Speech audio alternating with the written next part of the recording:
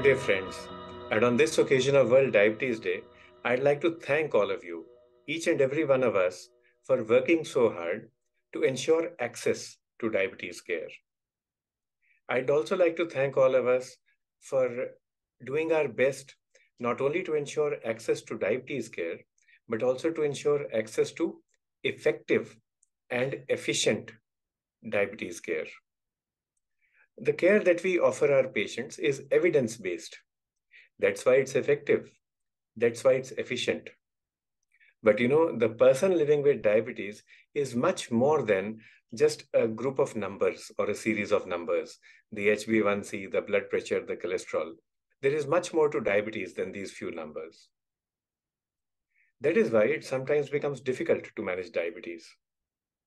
And that is why you must have noticed it is relatively easy to have an algorithm for acute illness. Even if it is a difficult or severe illness, a life threatening uh, disease, like a heart attack, like stroke, like septic shock, you can create an algorithm and the ICU, the nursing staff, they will run on that algorithm. It is relatively more challenging to create an algorithm for diabetes. So 10, 20 years ago, when uh, stalwarts in the profession began trying to create guidelines from Europe, from America, it was a very prescriptive kind of a guideline. You see newer guidelines, newer recommendations now. In the beginning, they are all united, uh, saying that we should have lifestyle modification, metformin, and now for patients with ASCVD, established ASCVD, or those at high risk of ASCVD, we should have SGLT2 inhibitors and GLP-1RA. But after that, things are left to the physician and the patient. What is the second line choice? What is the third line choice? When to prescribe insulin, when not to prescribe. All these are uh, person-centric, personalized, individualized decisions. Now, the fact that each person with diabetes is unique, the fact that you cannot have a prescriptive algorithm, this makes diabetes management difficult at times. But look at it from another point of view. All this makes diabetes management challenging, complex, and fun as well. You enjoy managing difficult diabetes because the happiness that you get, the satisfaction that you get at the end of that management, when you have a happy patient, when you have a healthy patient in front of you, that uh, happiness, that success cannot be counted in numbers. It is an intangible kind of a happiness. You cannot put a monetary value on that. So today, let's talk about managing difficult diabetes. And we look at simple tricks of the trade. I've been managing difficult diabetes for uh, over 25 years now. It's been 26 years in the field of endocrinology, and I'm still learning. I still continue to make errors. I must admit that. But uh, I am quite original, you know. Each time there's a new error to be made, and every day is a learning for me. One issue that I've faced is uh, how to approach the patient. We speak of holistic health. holistic means viewing the patient as one. But that means it's just one thing in front of us. What do I do with all the anatomy, the physiology, and the biochemistry that I learned? I have learned that the human being is made up of the respiratory system, the cardiovascular system, the brain, the kidneys. So, shouldn't I reduce my patient to these organ systems? Going one step ahead, I have also learned that uh, each organ system is made up of cells. So, shouldn't I view my patient from a cellular perspective? And why stop at that? Why not look at the cytoplasm, the nucleus separately? Each and every enzyme, each and every cofactor, each and every target protein separately. This is known as the reductionist approach. So the question has been, should we view our patient in a holistic manner or should we manage the patient in a reductionist manner? But then a counterpoint is, why bother about this question at all? Why should we have a either one or the other kind of an approach? Why can't we have both? Why can we not learn the biochemistry, the pathology, the pharmacology, the physiology of diabetes? That is the reductionist approach and then apply it in an appropriate manner, in a holistic manner, leading to holistic outcomes. This is a question, uh, it, it, may, it may seem a rhetorical question to some of us, holistic versus reductionist, but this is a question which uh, I grappled with for a long, long time in my career.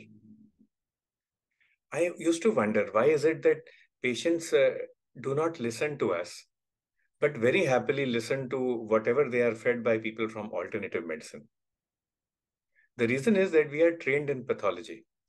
So therefore, we are trained in reductionism. And our communication will be, you know, uh, something is wrong with your insulin receptors. Your AMP kinase is not working. If you do not take insulin, you will get albuminuria. This albuminuria is a cause of premature death. So you are going to die. Many times our tone is like that. It's a scary, uh, pathogenetic, non-confidence building kind of an approach. And patients don't like it.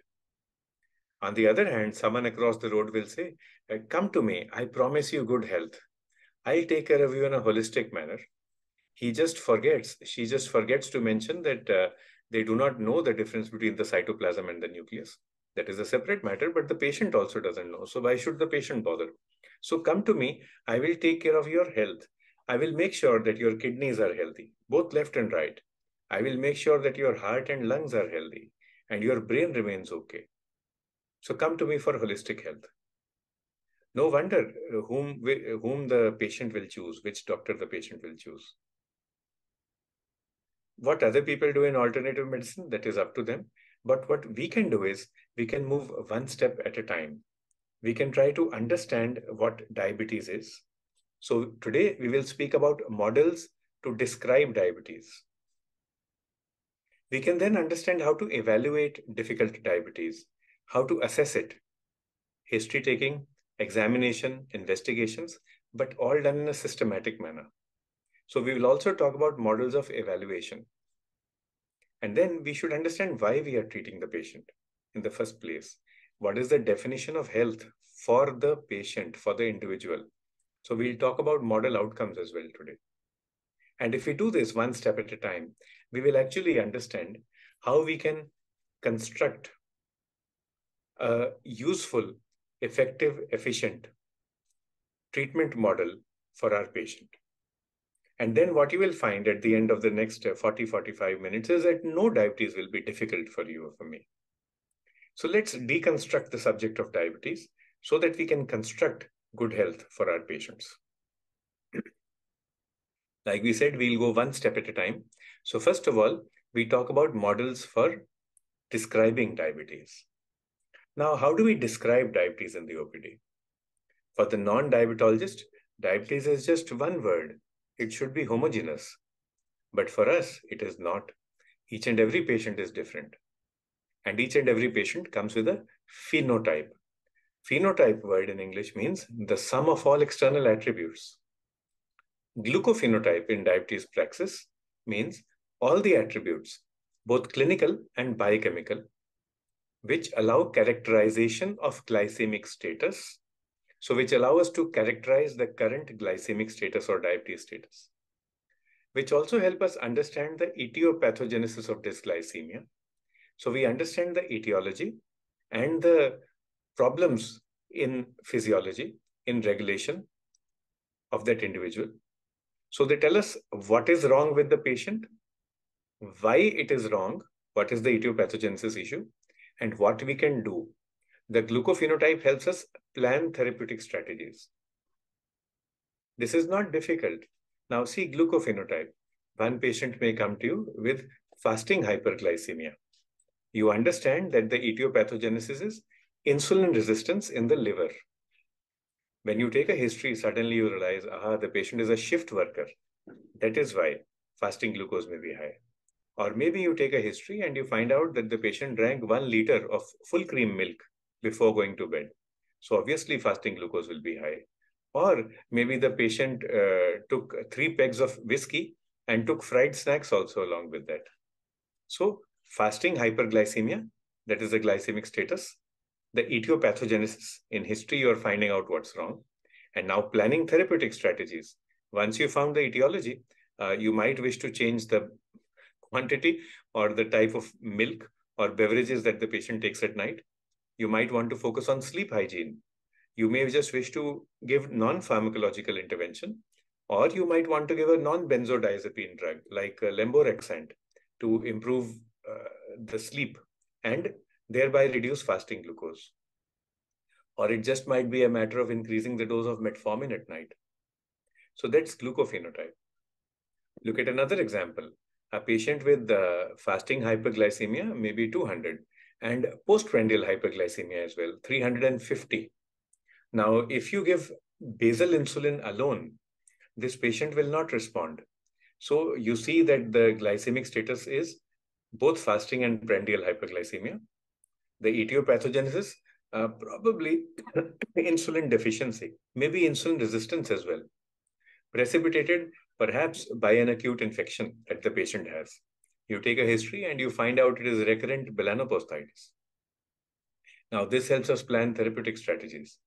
You have to give an insulin which will cover both fasting and prandial glucose. It can be premixed, it can be basal bolus. But along with that, you will have to manage the melanocytitis. Otherwise, the glucose will not come back to normal. So this is glucophenotype. But in our OPD, uh, when I used the word glucophenotype, I found it very dry. It didn't give me a very human kind of a feeling, a very humane kind of a feeling. And then we started using the term glycemic personality. Now, each and every patient comes to me with a personality of his or her own. I enjoy being with them. Well, with most of them, they're very friendly. They share their uh, worries, their concerns with me. They trust me. They all have different personalities. And glycemic personality means the sum of all attributes, both biomedical and psychosocial, which influence the glucophenotype of an individual.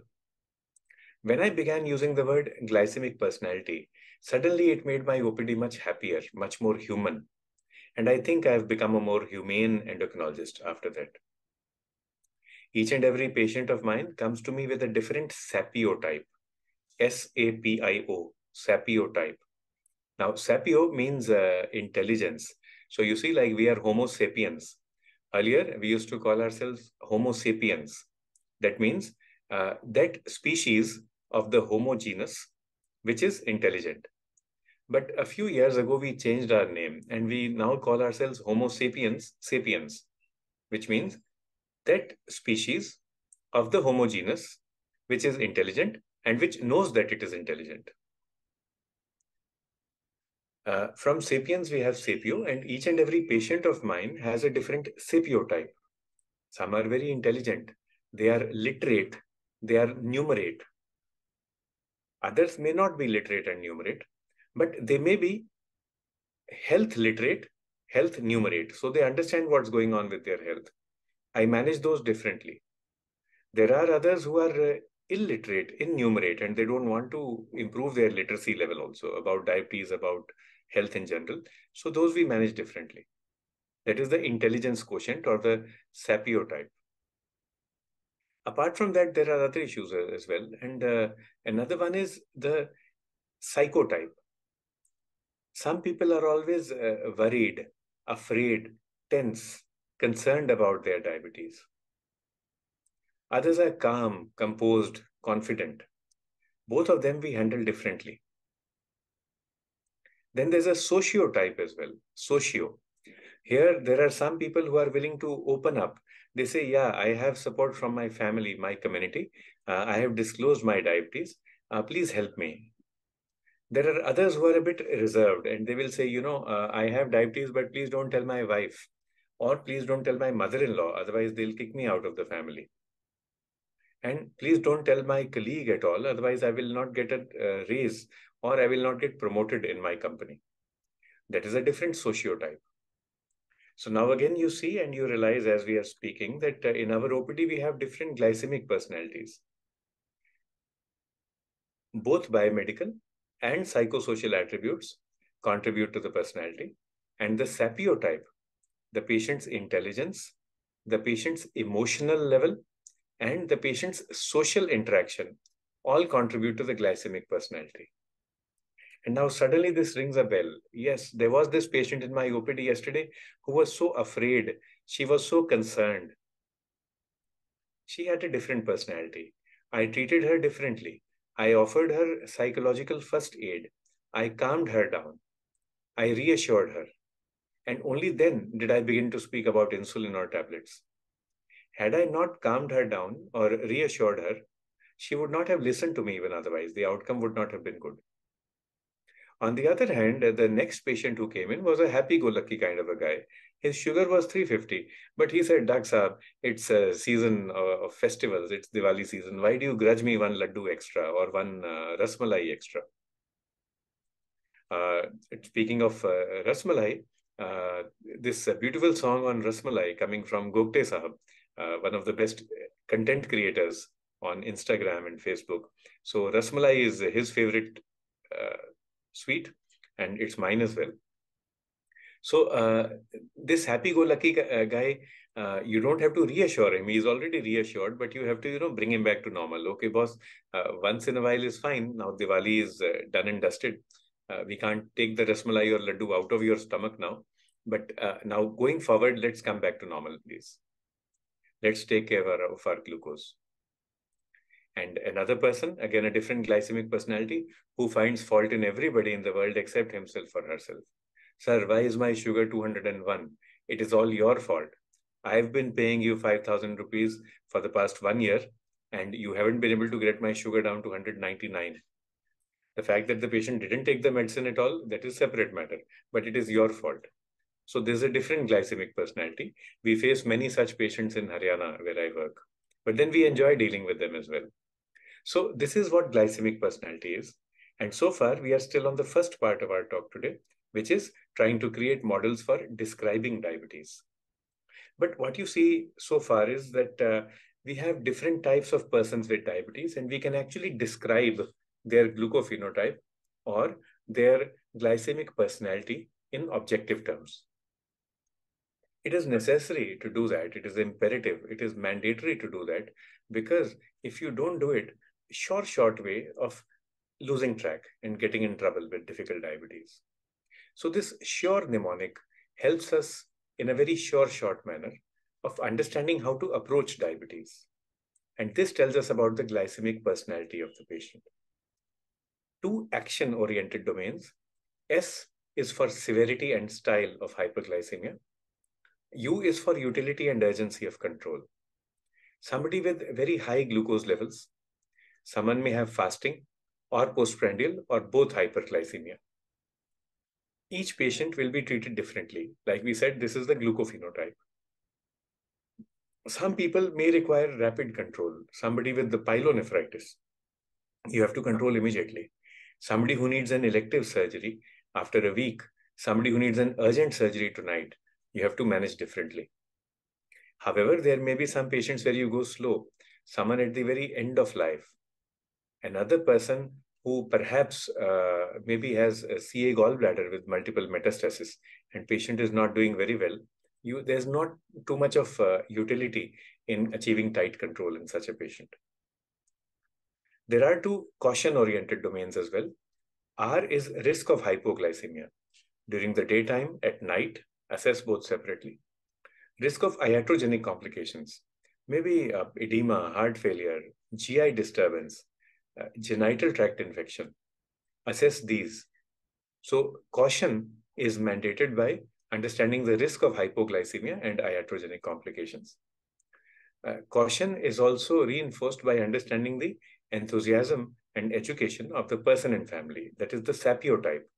How intelligent are they? What is the psychotype and what is the sociotype? So severity and utility of severity of hyperglycemia, utility and urgency of control. These tell us how aggressive to be in diabetes care. Risk of hypo and complications, enthusiasm and education. These tell us how slow to go, how cautious to be. This is something that I use in my OPD routinely, and I would recommend this. Do a sure analysis of each and every patient who comes to you. Create a glycemic personality in your mind before you begin discussion. But another and more complete method of understanding the glycemic personality, from sure, we move to assure.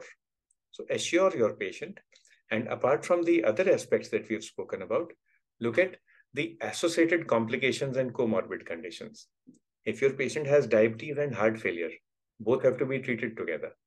If your patient has diabetes and kidney disease, diabetes and infection, pruritus vulvae, tuberculosis, both have to be managed together.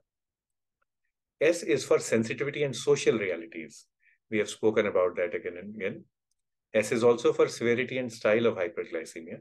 U for utility and urgency of glucose lowering, and R for risk of hypoglycemia.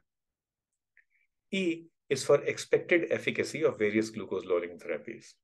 Now, the patient has diabetes for 12 years, HbA1c is 12%. You're not going to gain much by starting four or five oral drugs. So you might as well give insulin. So the glycemic personality can be assessed by the Assure mnemonic as well. So now you see, so far we've been able to evaluate our patients. I follow Sure. Assure also, you can add the A for associated complications and comorbidities. And when you deconstruct your patient this way, you can actually construct a management plan. But so far, we have just done the problem statement. We've taken the problem of the patient. Now, how do we evaluate? How do we move forward? Let's come to the second part of our talk. And here we have what we call the 7D framework, but we will simplify it into the 3D framework, three-dimensional framework. In uh, medicine, in community medicine, we speak of the biopsychosocial model of health. Biopsychosocial model of health. We have biomedical determinants, psychological, and social determinants of health. We also have biomedical, psychological, and social outcomes that we want in good health. We use a similar framework in diabetes, in difficult diabetes, and we call this the biopsychopharmacological model. Let me talk about this. So we'll do a 3D framework, and then we will further move on to 7D. The three Ds are, the three dimensions are biomedical, psychosocial, and pharmacological. In each of these, we have two or three sub-themes. So in biomedical, now our topic today is difficult diabetes. In biomedical, first of all, revise your diagnosis. Does the patient actually have diabetes? And what is the type of diabetes? Secondly, apart from diagnose, look at disease. So does the patient have any concomitant disease or comorbidity? What other dysfunction does the patient have? What other disability does the patient have? The second domain is psychosocial, and here we have three things to talk about. First is dialogue between us and our patient. Does the patient trust us? Are we able to communicate properly with the patient? What is the discipline that we have in daily life? Our patient, is he or she disciplined? And does the patient have any distress that we've not been able to manage? So you do a biomedical analysis, diagnose the type of diabetes, diagnose any concomitant comorbid disease. Do a psychosocial analysis, see if our, di our dialogue is optimal, see if discipline is adequate, and see if there is any distress that we missed out. The third dimension is pharmacological. And here we look at whatever drug the patient has been taking earlier whether we have prescribed or somebody else has prescribed. Is there a mistake in it? Maybe two sulfonylureas together. Maybe uh, the wrong insulin being given at the wrong time. And also the delivery system.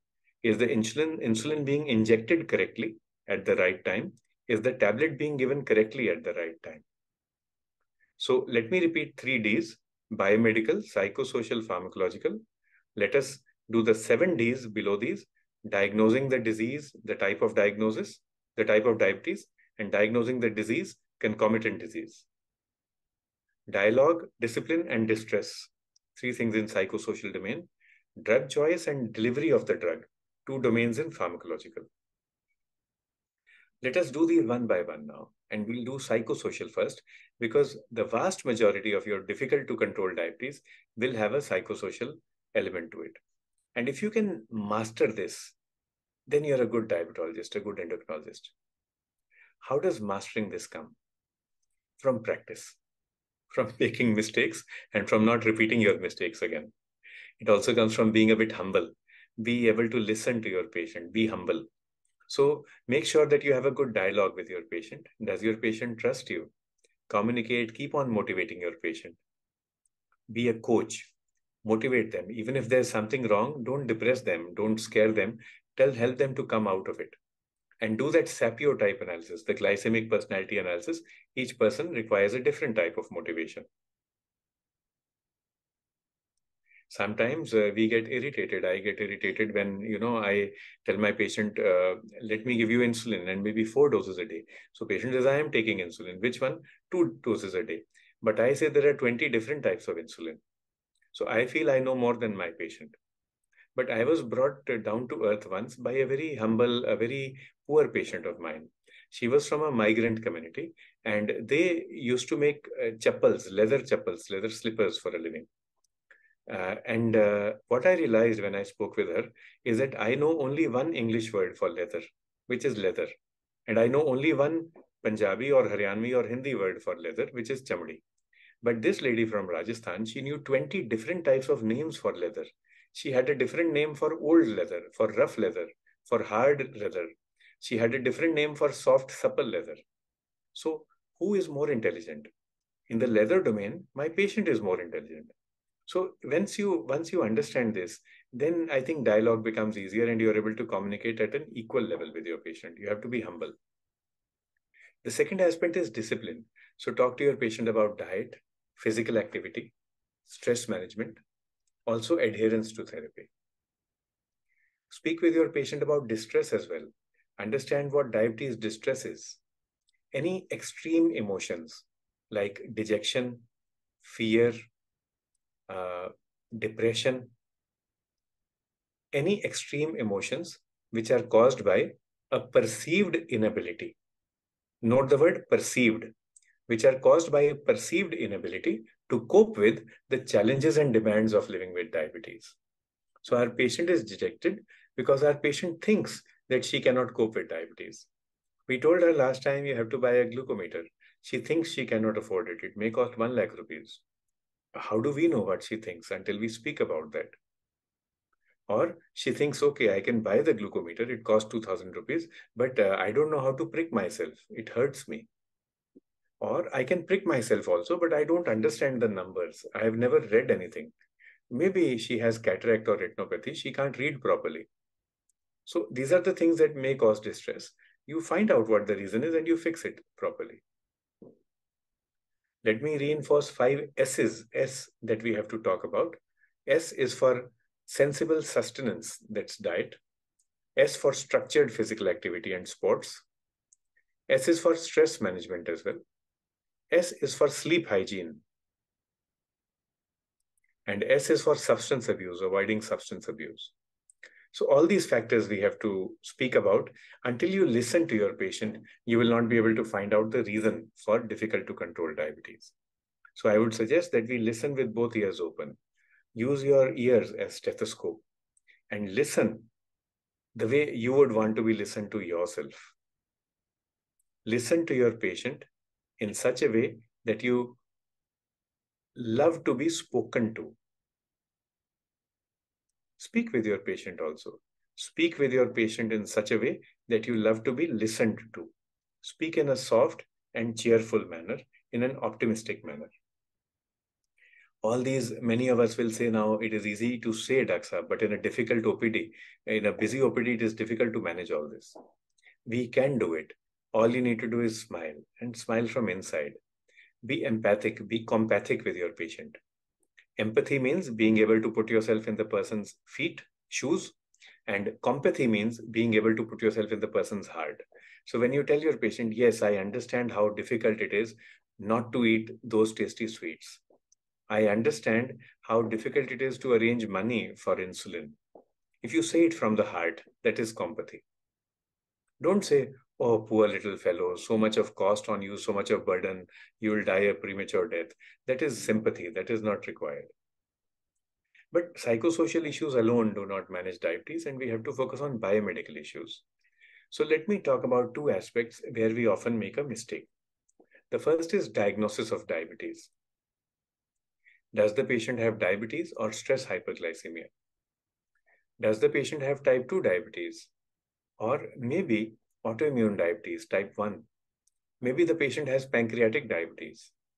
Perhaps the dysglycemia is because of drugs like uh, glucocorticoids, immunosuppressants, antipsychotics, the modern ones, and the drugs used in HIV, the older ones. Many a times, the diagnosis of type of diabetes cannot be done in a cross-sectional manner on one visit. You may have to do a longitudinal follow-up. And there's no harm in telling the patient. So we tell the patient, yes, as of today, we are treating you as type 2 or type 1, but there is something known as one and a half diabetes and it can always change. So we'll keep on watching you. We'll be careful and we'll get to know whatever tests are required, HbA1c, urine ketones, maybe a C-peptide, very rarely. We'll get them done every now and then.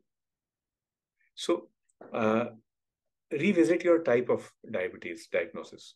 It is possible that we are treating somebody as type 2 diabetes, while actually he or she has LADA, late onset autoimmune diabetes. It is also equally possible that the patient may have pancreatic diabetes and we have missed that out. So how do you figure out these patients? In patients with LADA, uh, this is speaking from a Northwest Indian perspective. Patients will usually be fair for their particular ethnic group or caste. They will be handsome men, beautiful women, light colored hair, light colored eyes, beautiful eyes. Stigmata of autoimmune disease, such as goiter, vitiligo, arthritis, arthralgia. History of good control for a few months after diagnosis of diabetes and then progressively worsening diabetes. Weight loss. Uh, consider insulin in such patients. Tell your patient you may have one and a half diabetes. Let's give you insulin and see what happens. We also have a lot of patients with pancreatic diabetes. And uh, pancreatic diabetes is easy to diagnose if you know how to pick it up. These patients will be lean and thin, usually dark complexioned for their ethnic origin. They will have stigmata of malnutrition.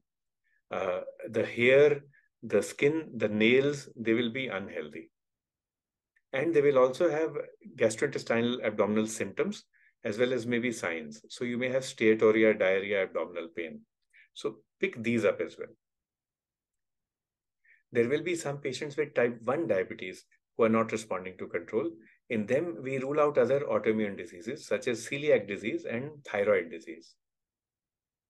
So be aware of the different types of diabetes and try to pick them up. You can also pick up MODY every now and then, that is maturity onset diabetes of the young. This will usually occur in younger people. There will be a very, very strong family history of early onset diabetes at a younger age. And the dysglycemia usually, usually is uh, mild to moderate and the patient is not very symptomatic. In very young children, another type of uh, monogenic diabetes is called neonatal diabetes. Now, in pediatrics, the term neonate is used up till 28 days of age. In diabetes, we use it up in pediatrics, it's up till 28 days. In diabetes, we use up till one year of age. So, any child developing diabetes at a very early age, uh, three months, six months, nine months, think of neonatal diabetes. You may be able to treat with sulfonylurea. So be aware of the type of diabetes. Also be aware of concomitant diseases that may cause diabetes. If you miss out these diseases, any autoimmune disease, any uh, infectious disease, trauma, endocrine diseases, then we'll not be able to control. So think of three endocrine causes for difficult to control diabetes. Hyperpituitary, hyperpituitary, that is acromegaly Cushing syndrome hyperthyroid, Graves' disease, and hyperadrenal, that is Cushing syndrome again. Obesity per se, insulin resistance. In hyperadrenal pheochromocytoma as well, all these can also lead to difficult to control diabetes.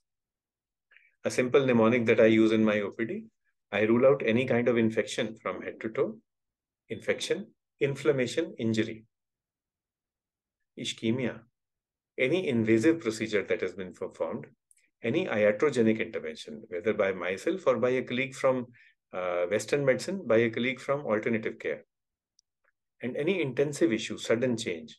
All these we rule out when we try to assess difficult to control diabetes.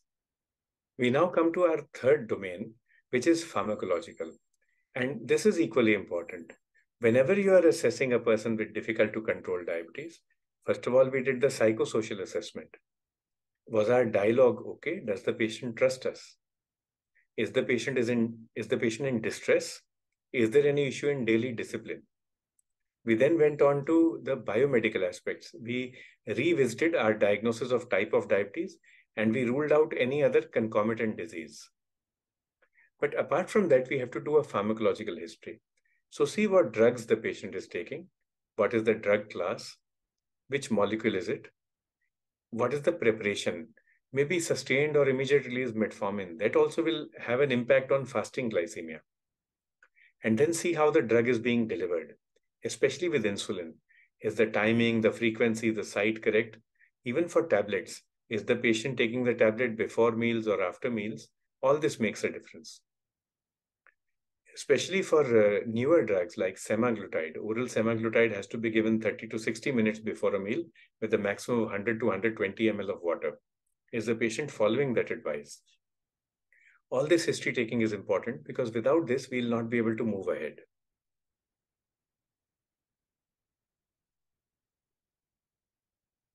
Uh, one method that I use in my OPD to assess the difference uh, or to assess the relative impact of psychosocial versus biomedical issues is the glucocoper. The glucocoper is a validated tool uh, developed in India.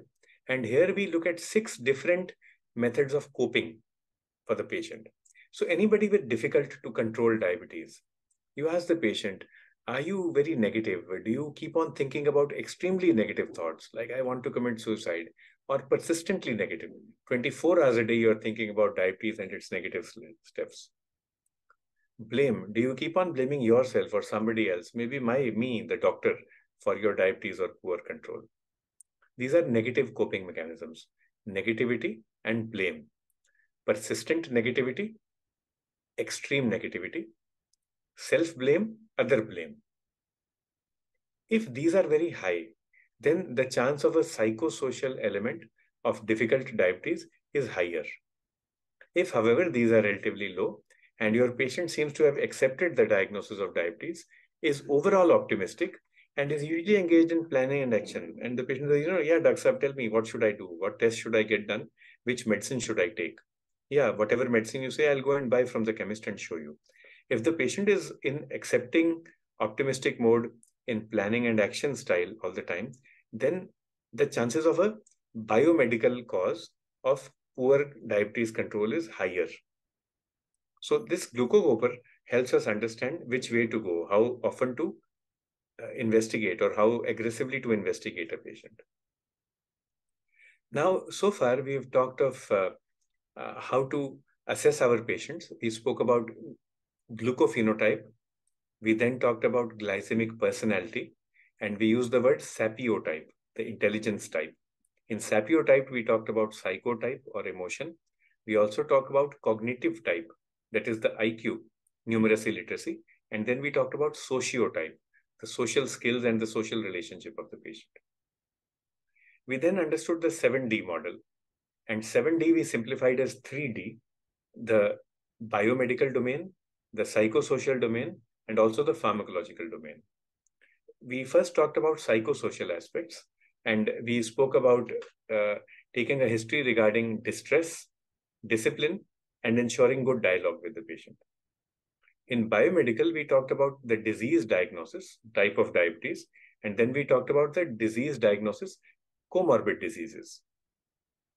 In pharmacological, uh, we spoke about taking a, uh, a drug history. What is the type of drug, the dose, the combination, and what is the delivery? Is the method of ingestion, the method of injection correct or not? To understand the relative importance of psychosocial versus biomedical aspects of difficult diabetes, we use the glucocoper. Is the patient in negativity and blame all the time? Or is the patient in accepting mode, optimism, or in uh, uh, planning and action mode all the time. That helps us decide how to move ahead. And by now, we have all realized that, yeah, we are doing these things in our OPD, but we are not doing them systematically. If we just make a checklist in our mind, and even if it is difficult, I just write this on a paper in front of me. For every patient who comes to me, I do a checklist, especially for 7D. This will help me minimize my errors. It will help me do better. But then what is the definition of better? So let's spend a few minutes speaking about this hierarchy of goals and goalposts, and let's understand what the Maslowian pyramid is. Now, uh, Maslow was a, a, behavioral psychologist who said that at the very bottom of his pyramid, everybody needs roti kapda makan, everybody needs a food, clothing, shelter. Only when you have food, clothing, and shelter, only then do you move towards a higher level, which is love and belonging. When every human being wants love and belonging. And then after that, you move towards higher things. Like then maybe you want to become president of the Physicians Association in your uh, city. If you don't have the basics like food, clothing, and shelter, you will never think of wanting to become a president of Rotary Club. Similarly, in diabetes, we all speak of uh, cardiovascular health, but the point is we forget this hierarchy. First and foremost, our patients want symptomatic well being.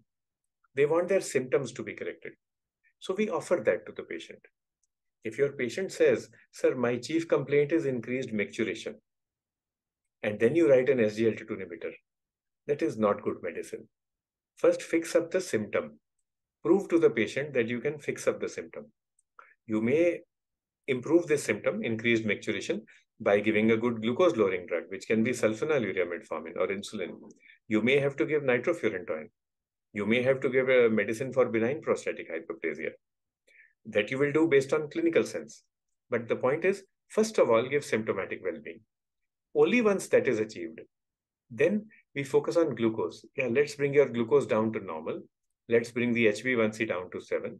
At the same time, we have to avoid hypoglycemia. In you, madam, an HbA1c of 6.5 can easily be achieved. But in your father, 7.5 or 8 should also be fine.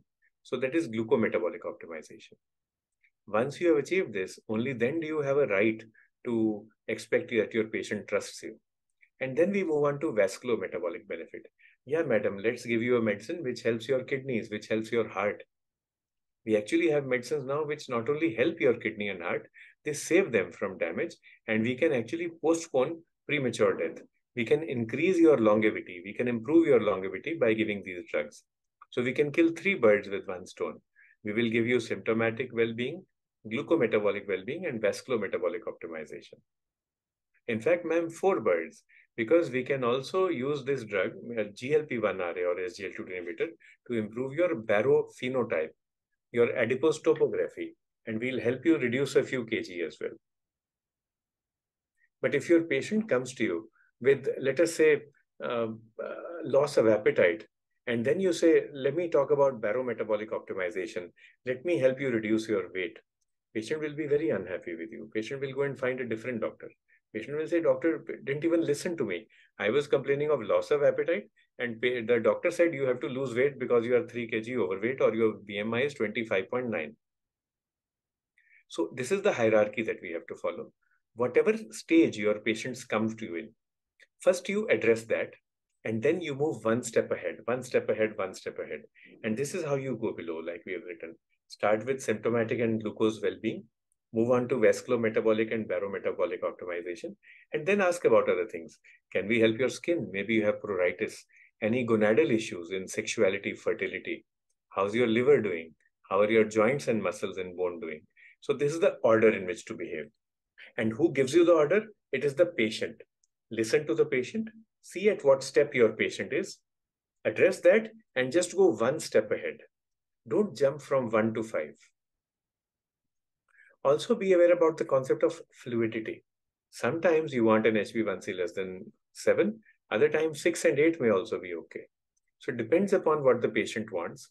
And don't uh, fight the patient, flow, roll with the resistance. At times you will be aggressive because the patient has got a concomitant infection. At other times you will be relaxed because maybe patient has got renal impairment and you want to uh, avoid hypoglycemia at all costs. There are some times where guidelines may not work, and this is also difficult to control diabetes.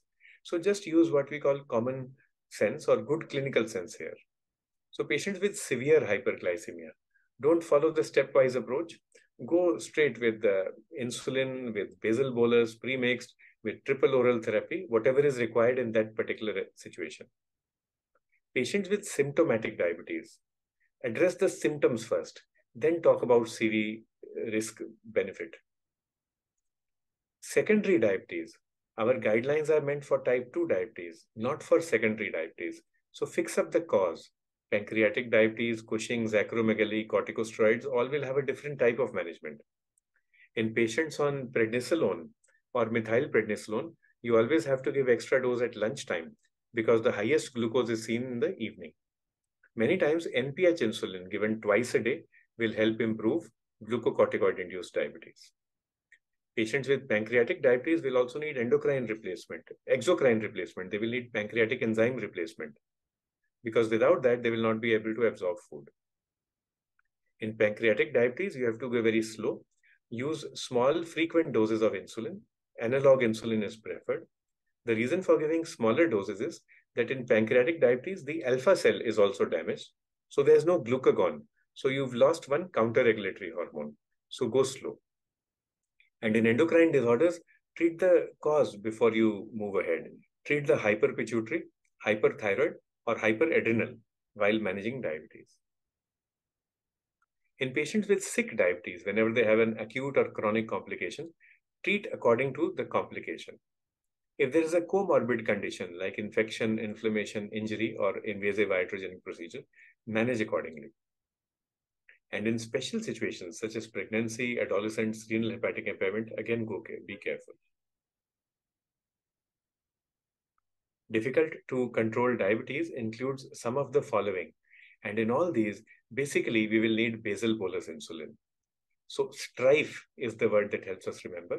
Strife suggests infection that is associated with S for severe hyperglycemia. T for threat to life, limb, or organ limb threatening, life threatening, organ threatening. Infection that is R, refractory, recurrent, or resistant. In all these, you will have to give insulin for a short period of time. Otherwise, you will not be able to overcome the infection. So any severe hyperglycemic, life-threatening, refractory, recurrent, resistant infection, or any infection that requires I for intervention with surgery or uh, maybe glucocorticoids. With impaired function, cardiac, renal, hepatic, GI, or excess excessive loss of life or excessive antimicrobial therapy. In all these, it's a good idea to start with basal bolus insulin so that you can bring the glucose down. Don't go on the guidelines, just focus on the patient in front of you. And I'd like to conclude with this uh, quote from a book by Abraham Verghese, Cutting for Stone. In this, he frequently uses the word good clinical sense, the phrase good clinical sense, and also the phrase therapy by the ear. This is what we should try to follow. Use your ears as a stethoscope. So listen to the patient. All the difficult to control diabetes will become non-difficult. And speak also. Use your patient's ear. Use your patient's ear as a mode of treatment and administer what Abraham Verghese calls words of comfort, words of comfort, and what we would call therapeutic patient education through the patient's ears. So educate the patient involve the patient in his or her management, and you will find that diabetes practice will become fun. It won't be difficult anymore.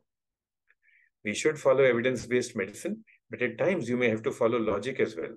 So logical empiricism would mean that, yes, my patient has got tuberculosis. It will take a long time for glucose to come down if I give metformin. So let me start insulin. That would be logical empiricism. Another example of logical empiricism would be perhaps my patient has got uh, GDM, gestational diabetes, and has reached 38 weeks of pregnancy. She's doing fine. The guidelines tell me to take up till 39 weeks, but the patient comes from 100 kilometers away. And uh, it is post monsoon. There are more potholes than road where she has to go back to, and she has to go back by public transport. So why doesn't she stay here, deliver, and go back with a healthy baby? Because if I send her back on that pothole-ridden road, she might deliver in the bus. That also is logical empiricism. Uh, so today, dear colleagues, we've spoken about difficult to control diabetes. And I think we did not share anything difficult. First, we talked about how to describe diabetes, glycemic personality, glucophenotype, sure, assure, sapiotype. We then talked about how to evaluate diabetes, 7D model, 3D model, biomedical, psychosocial, and pharmacological how to differentiate between focus on biomedical and psychosocial use the glucocoper. Make sure that your dialogue is uh, adequate, is optimal. And then we talked about model outcomes. What is the outcome that we are aiming for? If you aim only for an HbA1c, only an HbA1c less than 7, 50% of the time you will fail. So diabetes management will become difficult. But if we change and we say, yes, my patient wants symptomatically, that is my outcome. My patient wants good glucose levels. She just wants that she doesn't have to get up to go to the bathroom at night. My patient wants that there should be whatever methods of CV risk reduction are there, I should be taking them. Whatever the patient requires, you deliver that and go one step ahead. Try to keep on improving. As a good coach, try to take your patient beyond their definition of health and add one more. But that should be done in a stepwise manner. And finally, we've learned this concept of therapy by the ear. Listen and speak in such a way that you would want to be uh, listen to yourself, that you won't want someone else to speak to you. And if we can do that, we'll certainly be able to manage all the diabetes that comes our way. And we will be able to contribute towards making our great nation a much happier and a much healthier country, society. And we'll contribute to making our patients, our fellow citizens, hale and hearty and happy and living in harmony with each other. Thank you and Jai Hind.